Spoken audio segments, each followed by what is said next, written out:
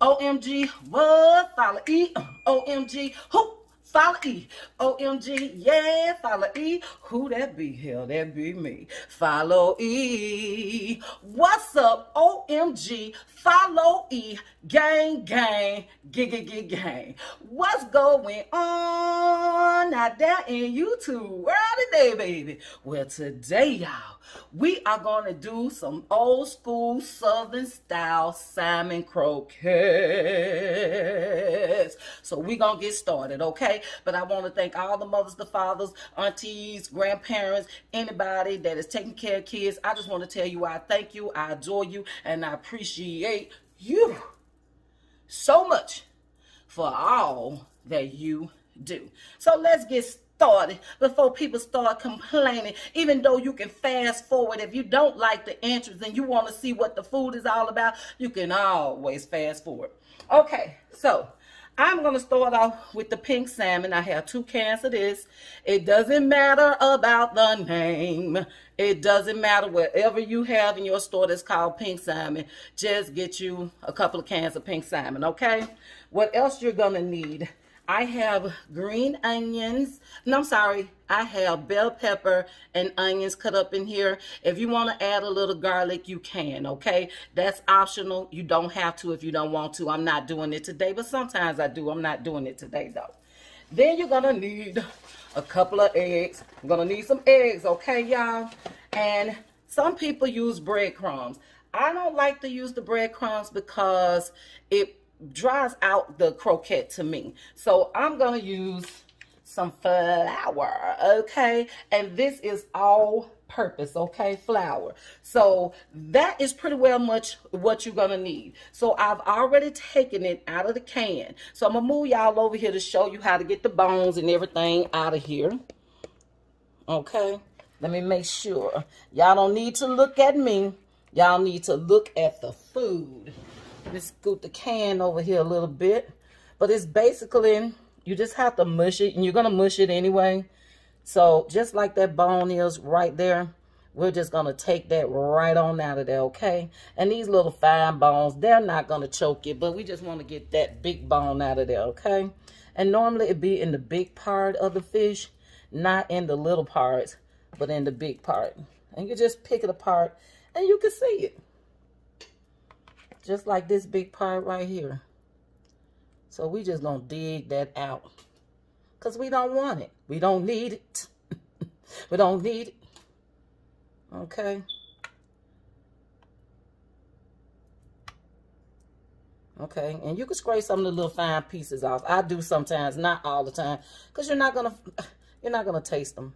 We just want to get that little bone right there out of there. Okay.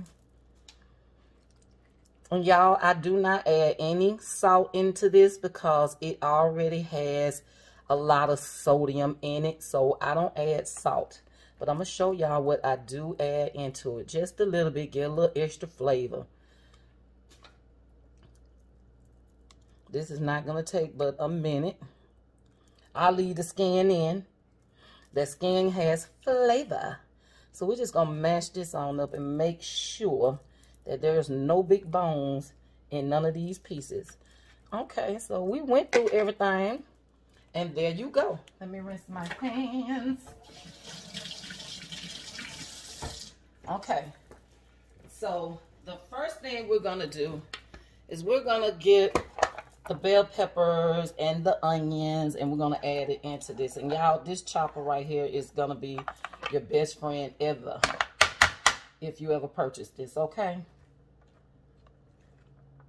So you got to eye how much you're going to put in here. Because I'm doing two cans, I want to make sure everybody get a little bit of somebody. You know what I mean?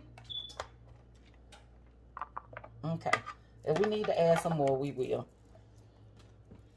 All right, let's just get to mixing so we can see if we got an even amount of bell peppers and onions up in here when we make these patties burger. Now, me, me being who I am, y'all, I'm going to add me a little more. But that's just me. You add what you like. I'm going to give me a big one more handful. Okay? Maybe a hand and a half. Okay? So I chopped up one whole bell pepper and one whole onion, but I'm not using all of it, okay? But I just wanted to make sure I had enough. I think that's enough right there. Okay. All right. So the next thing we're going to add, I'm going to add a little bit of garlic powder. I'll say about um, tablespoon. And I'm going to add in a little bit of onion powder as well. It just depends on how much you have. And people, I eye my stuff. I tell y'all that all the time. I'm from the South. I don't have to measure. I'm not a measurer because I can just eye it. And just for a little bit of some, some, some. Hold on, y'all. Let me grab it. We're going to add us a little Old Bay. A little bit Old Bay. Shake them up, shake them up, bay. Okay, little Old Bay. All right. And then for a little bit of an extra little kick, we're going to add just a little bit of cayenne pepper. Do it to your amount of taste of heat, okay? Now, while we're doing that, we're going to go in here, since we did two cans, we're going to do two eggs.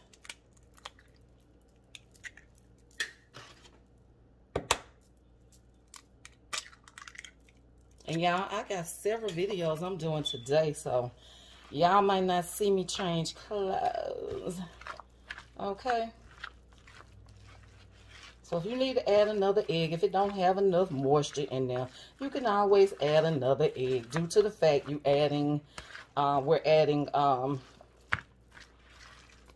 bell peppers and other stuff. But I think this might be moisture enough. If not, I will add another egg.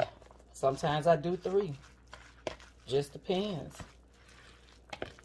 Because we want that extra moisture. You know what I mean? I got to give me some more eggs, y'all. Good thing I don't need them more for the next recipes. I'm going to do three. Let's go with three instead of two because I'm looking, I'm eyeing it. I know what to do. That's why I'm showing you. Get that good in there, okay? Let me get a spoon because we're going to get some flour out. And I want to, I need a spoon for it. Okay. All right.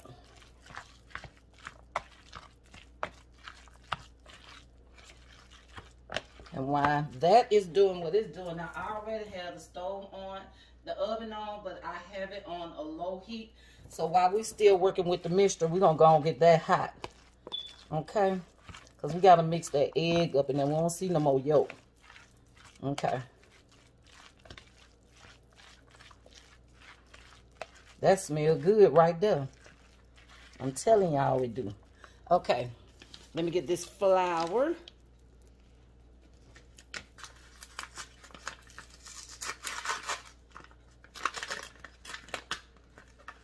Okay, now the way you have to do this, you have to add a little at a time. You can't add a whole bunch. So we're going to start off with one good scoop. And we're going to sprinkle it out through there. One good scoop for right now, y'all. Mix it.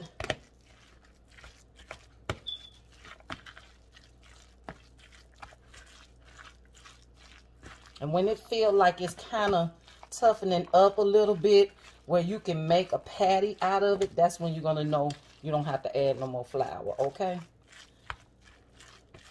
All right. I think I'm going to need two good scoops for right now. Two good scoops. Not two. And then we're going to spread it like we did the last time so we can mix it good, okay? So, there go two good scoops. And that thing, this is going to work because I can see it right now kind of thickening up where we can make these patties. Okay?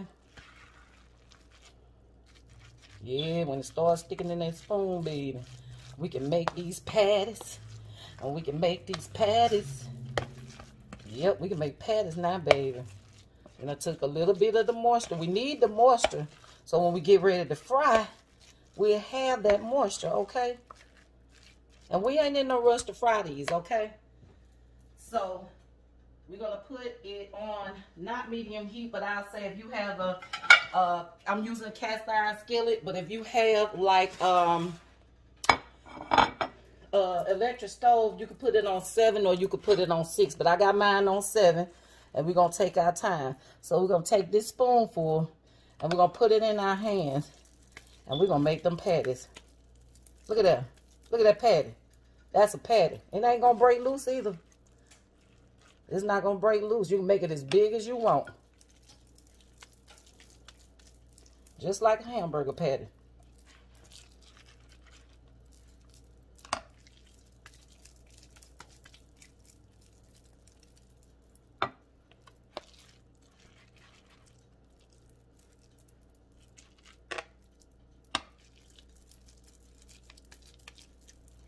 Make it like a hamburger patty. Okay.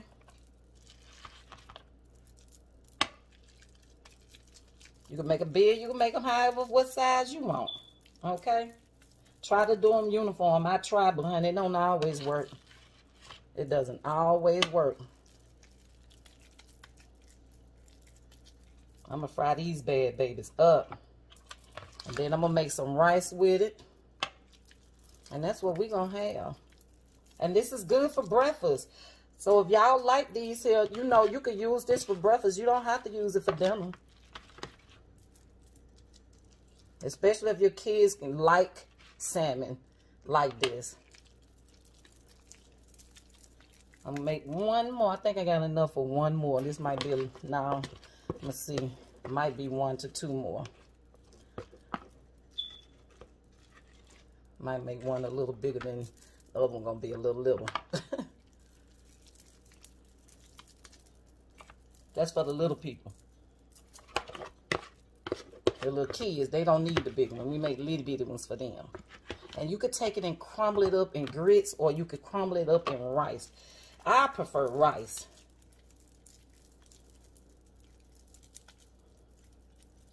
Okay, let me wash my hands so we can get over here to this stove, honey.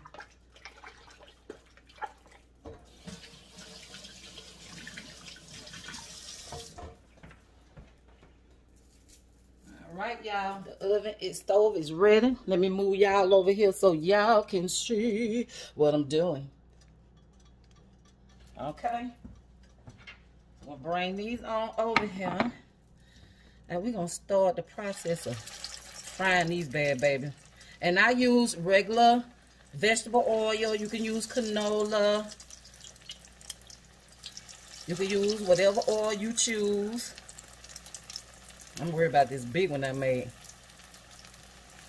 But see, you got to let them rest and fry on the side. A lot of people mess them up because they move them too fast. And you really got to take your time with these, huh? I'm going to just leave those. And then I can do my last four afterwards. Clean up as you go, baby. Clean up as you go. I'm going to make this a small video as much as I can.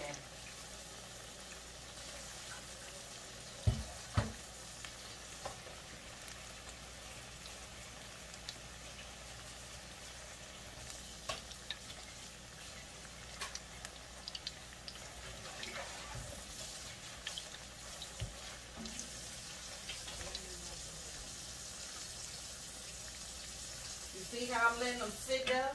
You gotta let them sit and sit. They gotta sit.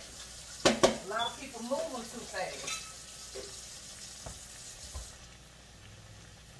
Okay, I'm gonna clean that little bit up, baby. You see that brownness that's coming around there? Now, when you see that brownness that's coming around that rim right there, now you know when it's time to flip. Because it has gotten that brown texture. See that? See that? See how beautiful that texture is right there? That's what you want. That's what you want to see. You flip them too early, they tear up on you.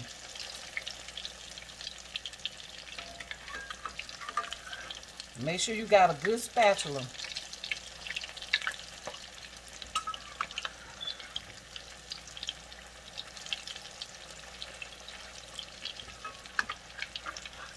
Ooh, look at them patties, baby. And you could kind of press them down a little bit. Just a little bit, not a whole bunch. We just want to press them down a little bit. And that's it.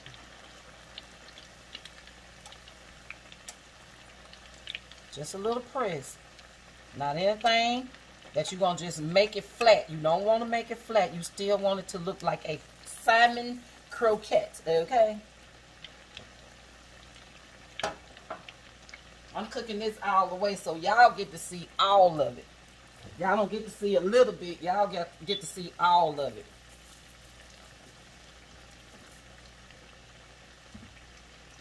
Let me put some stuff away while y'all waiting on that to see how it really look when it's done.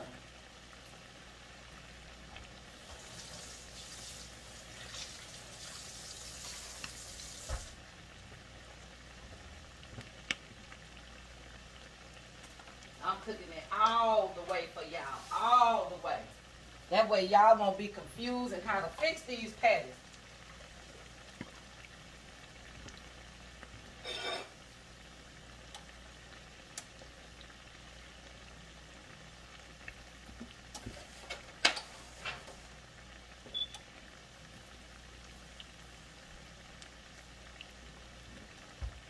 So we're going to need a plate with a napkin because we don't want all that oil.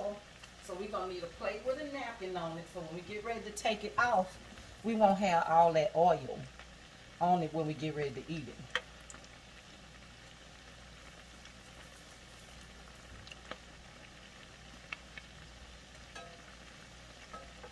It doesn't take any time to cook this. This is probably one of the quickest meals. You could go ahead and mix it, put the flour in it, make the patties, put in the refrigerator. It'll be ready when you're ready to come home and cook a meal for your family. I'm telling you, this is like the easiest meal that you can make with some rice. With rice. And since I make mine a little thicker, I don't make mine little. I like mine to like really show me like that little bark right there. I like to reflip them one more time. That little bark right there. That's what I'm talking about. Right there.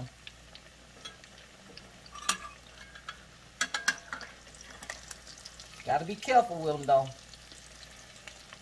That one right there kind of trying to act a little funny towards me. Mostly they be perfect though. See? See that little bark? Then you can mash it just a little bit. You don't want to mash it a lot. Like I said, we're not trying to flatten them. We're just putting a little applied pressure on it, okay? I just got popped, y'all. See how much I be thinking about y'all? I don't mind getting popped.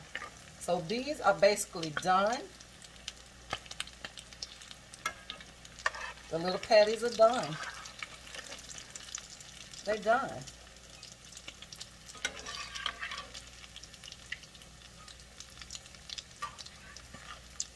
Uh-oh.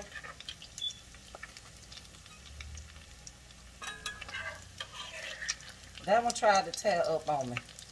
Normally my patties are beautiful. I'll just flip that one more time before I take her in prop self out of here doing her own thing. We don't do that, honey we go with the flow. So we're going to add in the last four that I have.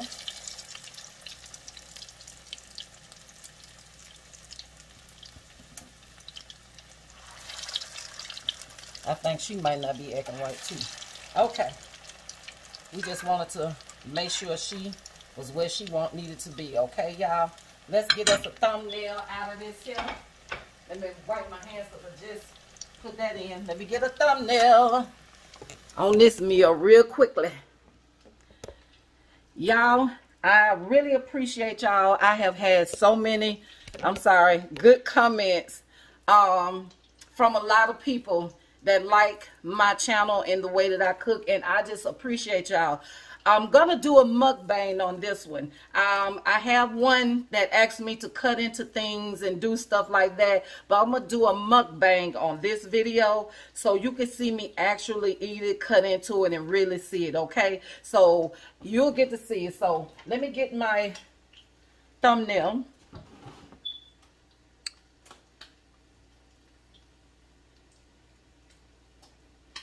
All right. I want y'all to like, subscribe, hit that bell button, uh, hit that bell button, uh, comment down below. Uh, uh, comment down below. And come back following OMG what? Follow E OMG who? Follow E OMG yeah follow E who that be? Hell that be E. All right that's me. Okay I'll see y'all. Peace. Boom